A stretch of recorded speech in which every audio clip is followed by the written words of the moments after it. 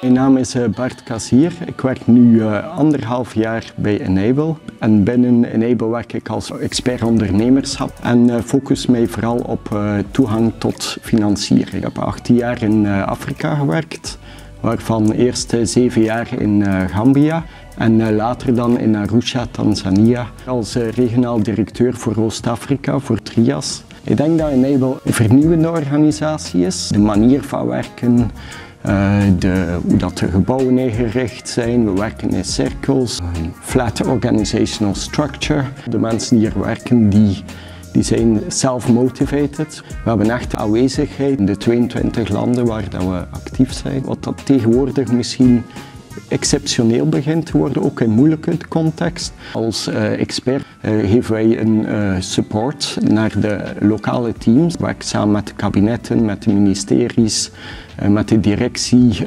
ontwikkelingssamenwerking. Dus we zitten echt heel dicht ook bij het strategische denken rond ontwikkelingssamenwerking. En ik heb echt het gevoel dat ik die vertaalslag kan maken van dat hoge beleidsdomein tot realiteit op de grond. Het is eigenlijk echt identificeren welke waardevolle lokale expert eh, is er aanwezig en om die expertise met elkaar in contact te brengen.